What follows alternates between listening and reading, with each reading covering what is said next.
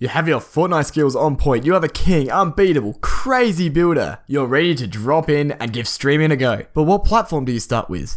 Well, why not all of them? Now you're asking, how the hell am I going to do that, Joel? Well, haha, you have come to the right place thanks to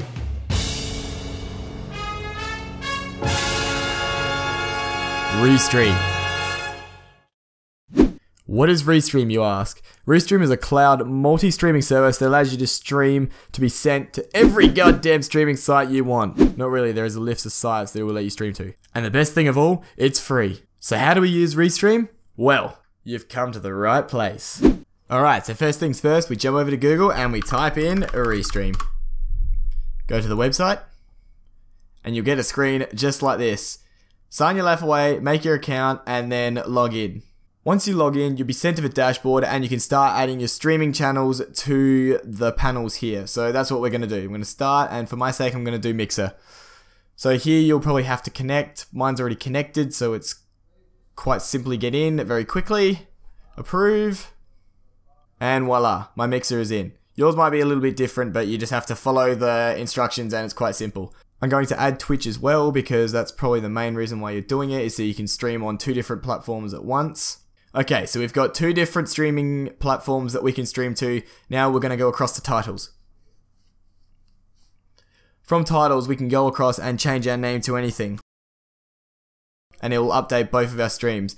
Now, to change the game, you might have to go to edit, and then you can change the game manually through here, which is really easy to do for both of them. And then you update, update, and you're ready to go. I don't use social alerts personally. I like to do them uh, manually myself to get them to look a bit prettier. But you can connect your Twitter or your Facebook quite easily, um, put in your message, update, and then when you stream, Restream will automatically notify all your people.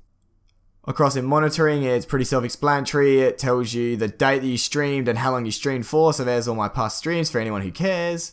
And across of analytics, you've got all the analytics, which are, seem to be pretty accurate of your streams at the moment. So that'll help for what days and stuff is best for you to stream, etc., etc. And now chat. Chat is really cool. You want to download this because then you can have on your screen all your chat um, while you're streaming. I do this heaps in all of my uh, live streams, and I definitely recommend people doing it. Once you've finished setting up Restream, go back to your dashboard and then from here you want to be going to your recording software. If you don't know how to put Restream onto your recording software, go right here, streaming setup. It makes it really simplified and shows you how to easily put it into the main streaming softwares right here. A very quick tutorial on a very easy thing to do on something that is actually pretty awesome.